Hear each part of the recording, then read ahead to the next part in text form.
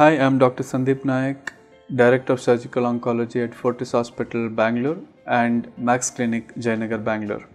As you all know, there is a coronavirus pandemic and there is a lot of concerns and lot of uh, uh, worries that have been expressed across the world and they are all true.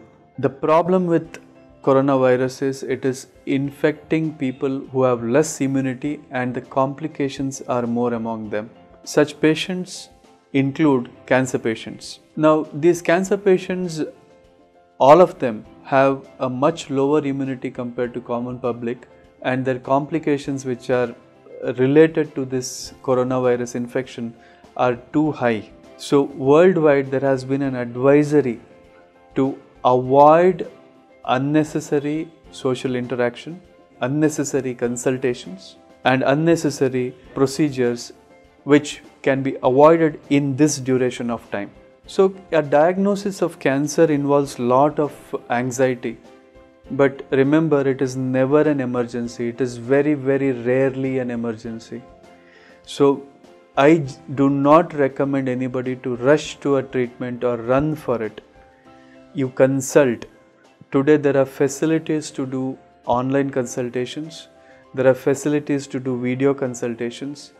Opt for them. For my patients, recommendation is that they come on our app. There is an 4Care app which is cancer specific app you can upload lot of information all the investigations on it and there can be a video consultations with me and this app has been opened for many doctors and whoever opt for using this you can consult them with all your documentations from your home so you can avoid unnecessary contact with many people when you come travel and come to meet a doctor so the Consultations or your visit to the hospital or to the clinics should be limited to situations which are clearly called emergencies.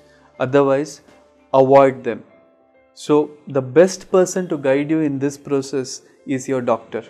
So, consult your doctor, ask the doctor whether it is required for you to come for a consultation or not.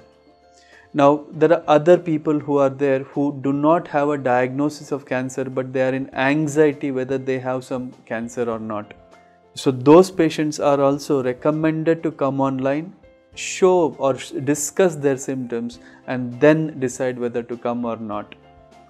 So, it is very important that all of us, all the patients, follow this dictum to save themselves and save the society.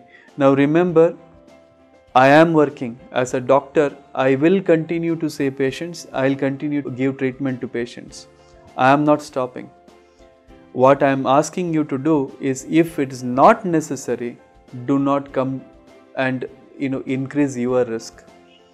So this is a request from me and I hope all of you who are listening to me will follow.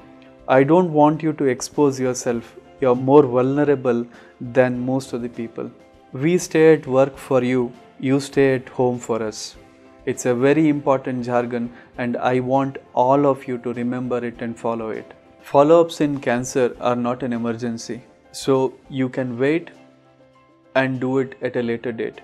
So, many of you who have undergone treatment and are in the follow up period, who are visiting once in three months or four months, a month or two delay is not going to make any difference in your outcomes. So do not come at present. Wait for the outbreak to be better or settled. We can do it at a later date.